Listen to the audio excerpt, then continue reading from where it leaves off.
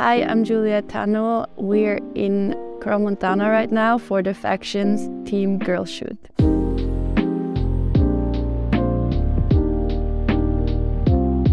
I'm 162 centimeters, I weigh around 54 kilos, and I ski on the Prodigy 1, 164 centimeters.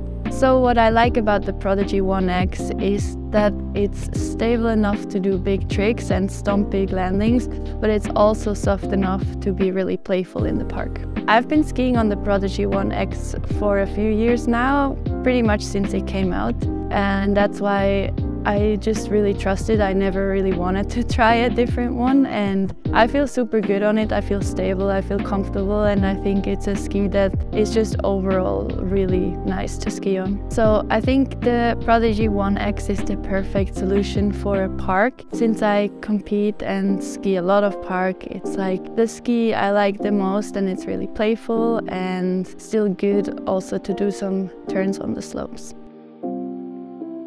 My favorite moment on the Prodigy, it would be the season of 2019-2020. It was probably my best competitive season and yeah, so there was a lot of memorable moments from that season.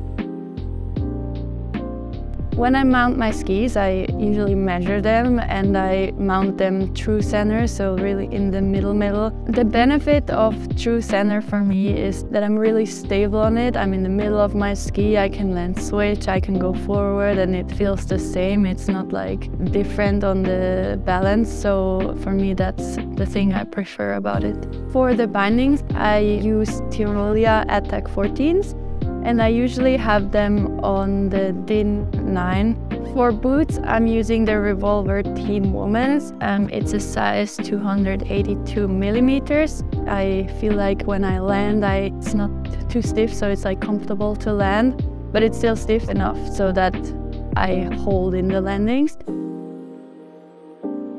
My poles are a little special. I've always used those since like five years or something. I cut this little thing like uh, so it's thinner because I have really small hands and it helps me to grab a bit better. And yeah, they're pretty short. They're like the good size in the park. They're not going in my way, but they're also still long enough so I can push if I need some speed.